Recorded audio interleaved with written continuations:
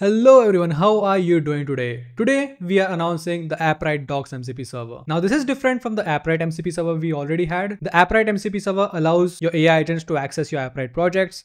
The AppWrite Docs MCP server, however, allows your AI agents to access the AppWrite documentation. Now you might be asking, why is this needed? Nowadays AI agents can do web search and everything, so why do you need an MCP server for documentation? You're absolutely right.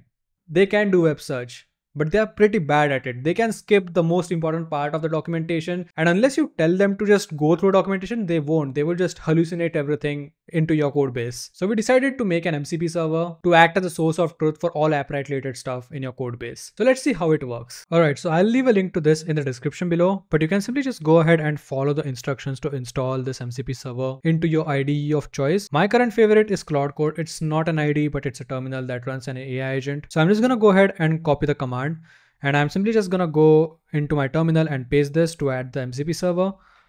And now I am simply just gonna clear the terminal and use Claude to run Claude code. And now I can simply interact with that MCP server by prompting the AI agent. Alright, so I'm gonna ask it a very, very simple question. I'm gonna ask it, tell me in detail how I can use Google login with Expo using AppWrite. So I'm just gonna hit enter and now it's gonna keep asking me for permissions to run some tool calls which are related to the MCP server that we just installed. So yeah, we got AppWrite docs MCP, it's asking for permission. I'm just gonna go ahead and allow it.